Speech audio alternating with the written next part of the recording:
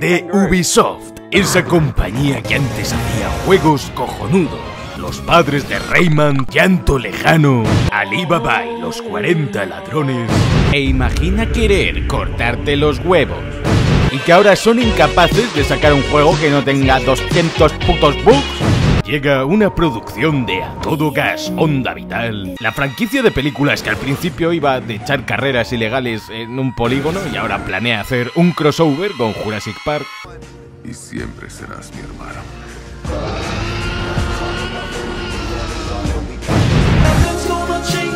Llega el credo de los asesinos. ¿Qué- ¿Cuántos juegos van ya?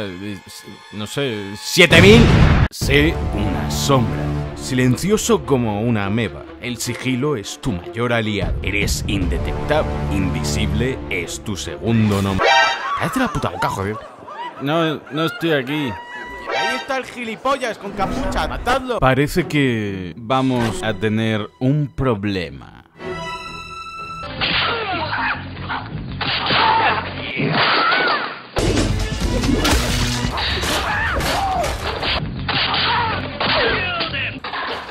Soy un maestro del sigilo. Haz parkour, sé un hijo del viento, observa el mundo bajo tus pies. ¿Quieres saltar, coño? Que saltes donde te estoy diciendo, joder. ¡Que te joda! ¡Me cago en Dios! Assassin's Creed China, Lo agridulce y arroz tres delicias. Rusia, Egipto. Doner kebab e auditore. Y cuando parecía que se iban a quedar sin países, de igual modo en que Pokémon se quedó ya sin colores y minerales, la maravillosa mente de Ubisoft nos regala una nueva entrega. Assassin's Creed Vikingos con capucha. Así que dale a like para ponerte la capuchita como todos hemos hecho y fliparte como si fueras un asesino. Y suscríbete para cenar esta noche en el Valhalla, porque Odín y los dioses antiguos están con nosotros en estos 30 detalles alucinantes de Assassin's Creed Valhalla. SI Valhalla. El personaje principal, Eivor, puede ser masculino Como loca va a quedar tu pija en mi boca, Edward. femenino. Pero cuando visitamos la tumba de Eivor en la actualidad, podemos apreciar que entre sus restos el hueso pélvico aparece cubierto de tierra. Para un forense, el hueso pélvico es un claro indicativo para determinar el género y si el cuerpo pertenecía a un hombre o a una En el juego no podemos ver este hueso entre los restos de Eivor porque no se quiere dejar claro el género exacto de Eivor, ya que desde el comienzo del juego podemos elegir nuestro género. A ver, chicos, no todos los juegos pueden ser Dark Souls 2, ni tener un ataúd para cambiar de sexo cuando quiera.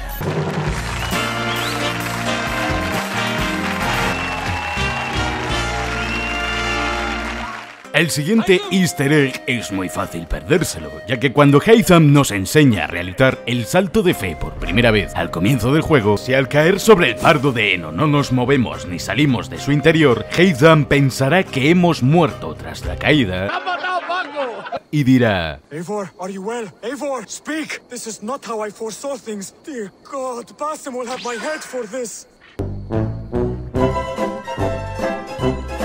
Sussex, rescatamos a una niña en una pequeña cueva que quedó atrapada mientras perseguía a algunos conejos. Esto es una referencia a Alicia en el País de las Maravillas, la novela de Lewis Carroll. Si entramos en la cueva veremos que alguien había dispuesto una mesa para una peculiar fiesta del té improvisada, tal y como la que tenía lugar en la novela y en las películas. En una parte del mapa encontraremos a un niño que nos pedirá un poco de miel para su amigo. Si le ayudamos, descubriremos que su amigo es un oso llamado Winifred. Y el niño es un guiño a Christopher Robin, así como el oso una referencia a Winnie the Pooh. Aprieta el gatillo, Piglet. Ambos personajes de la serie de libros infantiles. Pero si una vez completada la misión seguimos al oso y al niño, estos darán con un burro y un cerdo, en referencia a los personajes de Igor y Piglet de la misma serie infantil. Qué bien, menos mal que somos todos amigos. Oye, puta, ¿te acuerdas de Kingdom Hearts cuando me, me hiciste recoger todas las putas páginas del libro y hacer tus misiones de mierda? Dime, ¿te acuerdas? ¡Porque yo sí!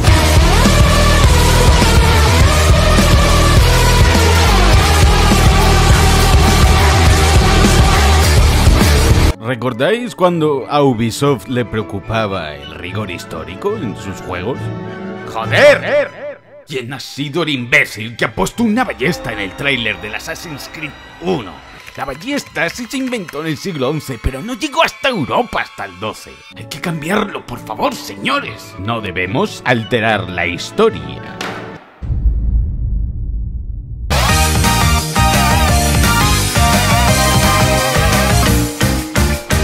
Pues en Jotunheim, tras matar a un pequeño grupo, aparecerá una misteriosa y enorme criatura, de ojos brillantes y cornamenta que se limita a observarnos. Pero dado que nos encontramos en la tierra de los gigantes, seguramente se trate de un Jotnur, de la mitología nórdica.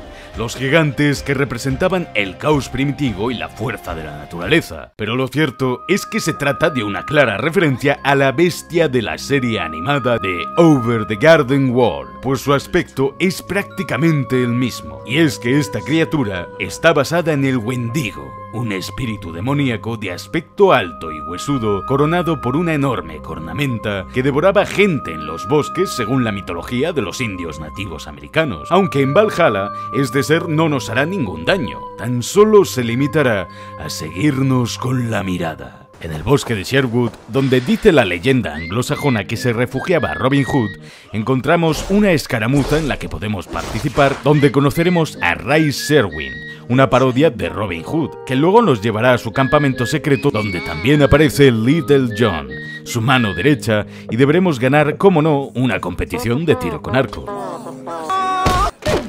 Hay un par de niños que nos retan a que desafiemos a su abuelo, un hombre tan poderoso capaz de derrotarnos de un solo puñetazo. Cuando luchamos contra él, este no solo es calvo, sino que además efectivamente de una hostia nos tumba en el suelo, en referencia a Saitama, el protagonista del anime One Punch Man.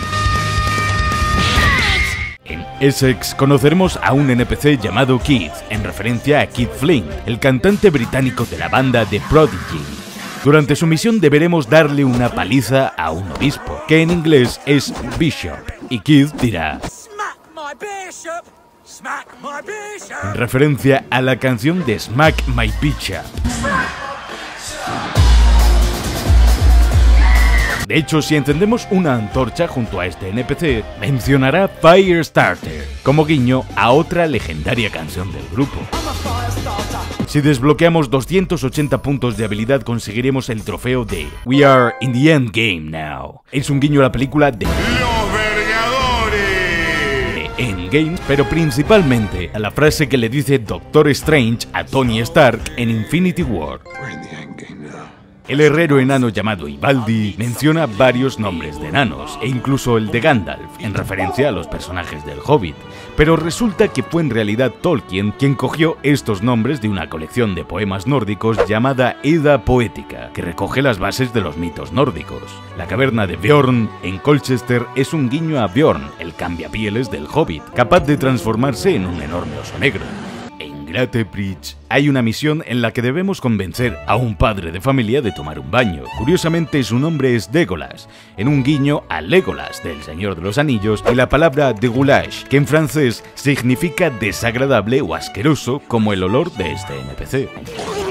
El autoproclamado rey de la isla de Norsex nos pide que recuperemos un anillo de las profundidades del lago que perdieron sus hermanos ahogados. Si lo hacemos y nos negamos a devolvérselo, este enloquecerá, tal y como hacía Smigol cuando Digol encontraba el anillo único en el Señor de los Anillos y Smigol lo mataba. Este NPC nos atacará asegurando que el anillo es suyo y solo suyo, siendo toda esta pequeña misión un guiño a los orígenes de Gollum. Las casas de Gloucester son como las de la comarca del Señor de los Anillos, y si entramos en una de ellas encontraremos una pequeña nota en la que se menciona algo sobre hacer las puertas más pequeñas, especialmente tras lo sucedido con un druida, una forma elegante de referirse a Gandalf. Es más, junto a la nota encontramos un anillo. De hecho, no es coincidencia que Gloucester se parezca a la comarca, pues Tolkien visitó Litney Park en Gloucester en 1929 para buscar inspiración a la hora de crear la región de la comarca, pues son propias de esas tierras las leyendas de que existen enanos y goblins viviendo en las colinas, lo cual inspiró a Tolkien a dar forma a los hobbits y sus hogares. En London hay una llave en un balcón que nos servirá para abrir la puerta de una casa cercana. En su interior encontramos una lista de los horrocruxes de Voldemort en las novelas de Harry Potter, así como estos a modo de objetos sobre la mesa, además de una varita. Los colores de los telares que vemos colgando no son coincidencia, pues representan a las cuatro casas de Hogwarts. De hecho, la parte trasera de la casa está llena de escobas. Una de las guías de pesca se llama Peces Fantásticos y dónde encontrarlos, en referencia a animales fantásticos y dónde encontrarlos. Incluso hay un altar llamado el altar de Dobby en referencia al elfo doméstico de la saga. El oso que encontramos sentado en mitad de esta formación de monolitos en Kent es un guiño a la reina Elinor de la película Brave, que acababa transformada en un oso. Cuando viajamos con Sigurd, este mencionará que Mercia es una zona templada un guiño a esta secuencia de los caballeros de la mesa cuadrada de los Monty Python. En Mercia, que esto está en zona templada. Al igual que Ashwick, el bardo que nos persigue y canta todo lo que vamos haciendo es un guiño a los bardos de Sir Robin, de la misma película, que son igual de irritantes. Dos de los posibles romances más destacables de Eivor son Tarben el panadero y Petra la cazadora. Al igual que en los Juegos del Hambre, la protagonista se debate entre el amor de Pita, el panadero, y Gale, un cazador. En uno de los eventos del juego damos con el club de lucha secreto BBB, en una indudable referencia a la película del Club de la Lucha de 1999, dirigida por David Fincher. Finalmente, en el DLC de la ira de los druidas, encontramos un mapa llamado Poción de Fuerza, donde el autor menciona a un primo lejano suyo que es un druida que vive en Francia. Este habla de Panoramix, el druida creador de la poción mágica en Asterix y Obelix. ¿Estás harto de intentar coger los putos tatuajes a tiempo antes de que se vayan volando? Pues si usamos la habilidad de ralentizar el tiempo o Blinding Rush, el diseño de tatuaje nos saldrá volando y lo podremos coger sin necesidad de correr ni perder el tiempo reintentándolo. ¡Qué buen dato que me has dado! Este NPC que dice Fenton está parodiando un vídeo que se hizo viral en Reino Unido en 2011, donde un hombre enloquecía tratando de recuperar a su perro llamado Fenton, que perseguía en Richmond Park a una manada de ciervos al grito de...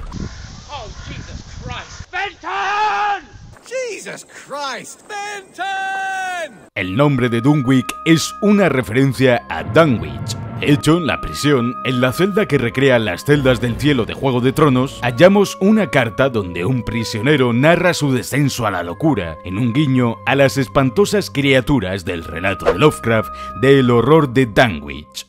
En Leicestershire debemos reunir los ingredientes para ayudar a un chico a crear una salsa que es un guiño a la salsa Worcestershire, una salsa tradicional de Reino Unido. Tras hacerlo, nos dirá que emprenderá su camino a Worcester, lugar que debe su nombre a la salsa en la vida real. Cuando controlamos a Swenin, que en nórdico significa perspicacia, si movemos el joystick rápido de izquierda a derecha, este realizará un barrel roll, en referencia a Star Fox.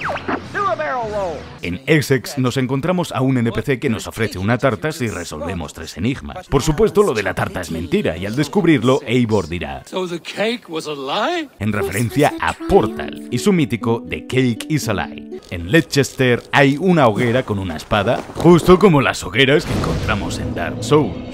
Cerca de Buckingham, en la cima de una colina rodeada de árboles cuyas hojas son doradas, encontramos un paralelismo o guiño a God of War donde Faye encantaba los árboles de hojas doradas que rodeaban su casa para formar un círculo de protección que los escondiera a ella y a su familia de los Vanir, los Aesir y Odín.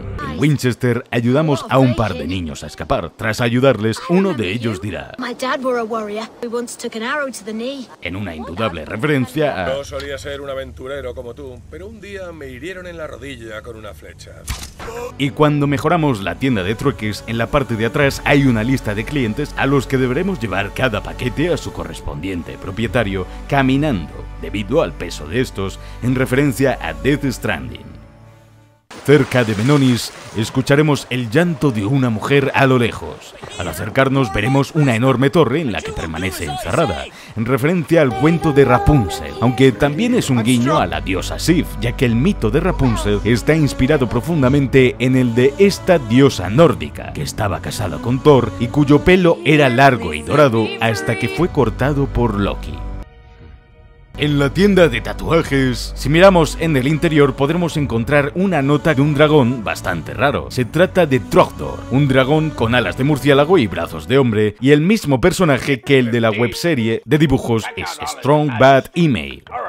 En las secciones del juego donde volvemos al presente, si investigamos el correo podremos leer varios emails en los que se menciona el COVID-19. En una atalaya al sur de Wessex encontramos un pequeño campamento donde parecen haber estado jugando una partida de dragones y mazmorras. Las notas que encontramos son las hojas de los personajes que se habían creado con sus poderes y habilidades, incluso podemos encontrar los dados que usaron para jugar. Mientras hacemos una ofrenda en este altar del mapa, descubriremos que alguien nos roba, a juzgar por el rastro de pequeñas huellas verdes que nos llevarán hasta dos pequeños niños pintados de verde, dos hermanos que viven en el bosque y que quieren llevarnos a la misteriosa tierra de Saint Martin. Esto es una referencia a la leyenda británica de los niños verdes de Walpit, pues se cree que en el año 1100 en la región de Walpit los aldeanos encontraron a dos pequeños niños perdidos, cuya piel era completamente de color verde, que hablaban en una lengua desconocida. Solo se alimentaban de judías y vegetales de color verde.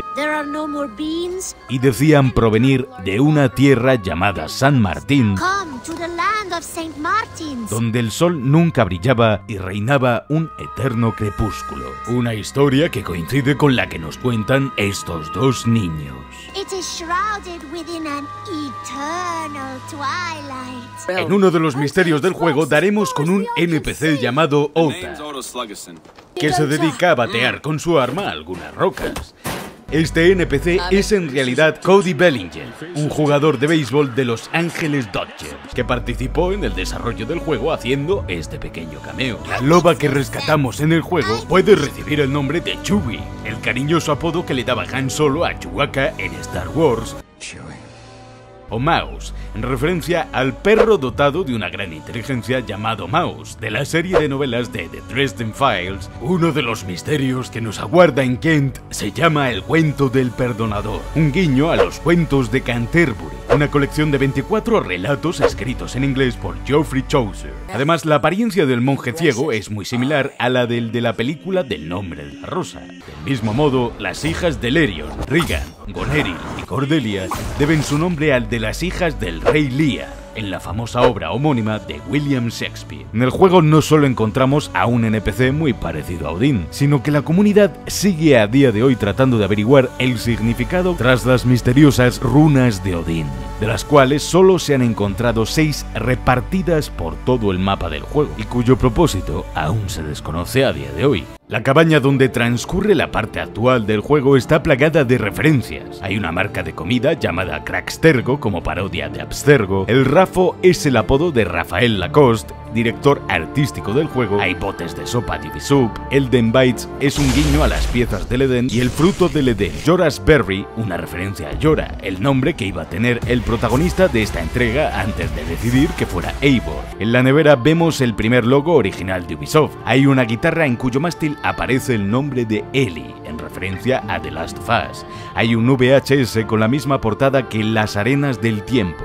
En una de las cintas vemos Fear the Old Blood, una frase de Bloodborne. Fear the old blood. En otra pone Animal Kingdom, una serie de Amazon, y Anvil es el motor gráfico que empleó Ubisoft para crear el primer Assassin's Creed y Prince of Persia. Hay fotos de las mascotas de los desarrolladores, el vinilo de Kingdoms es el nombre que iba a tener originalmente Valhalla, las notas del tablón son notas del desarrollo del juego, hay una parodia del nombre de Guillermo del Toro, podemos escuchar a algunos desarrolladores cantando en la radio, Y este cuadro es un dibujo de Paola, una fan de Assassin's Creed y Division, que les envió este dibujo a Ubisoft y que por desgracia falleció, por lo que Ubi decidió incluir su dibujo en el juego. los paisajes, el nivel de detalle del juego a veces es tan alto que si es lo suficientemente grande podemos ver el entorno reflejado de forma realista en el interior del ojo de un pez. Es más, ¿qué es eso? ¡Ah! Creo que veo a tu madre. Para los más nostálgicos es posible usar la hoja oculta como arma en el juego, pero para ello debemos desequiparnos lo que tengamos en la mano izquierda para poder usarla libremente al golpear. Si encontramos las dos runas con forma de triángulo cerca de la costa en Dover Faros y la fortaleza de Dover, el lugar en el que ambos puntos se cortan y forman un triángulo en el mapa, hallamos un pozo en cuyo interior están los restos de Magister Vitus y una carta encriptada que esconde el siguiente mensaje en latín. Mordemos con entusiasmo a los que nos dominan, pero yo he fracasado, Vitus. Al igual que hay gente que no sabe que podemos asomarnos por las esquinas para disparar, asomarnos rápidamente y disparar flechas rápidas desde un fardo de paja, o si en mitad de un salto en el aire disparamos, el tiempo se ralentizará y podremos apuntar mejor. En esta localización de Vinland es posible escuchar el tema principal de Assassin's Creed 4 y de Rogue,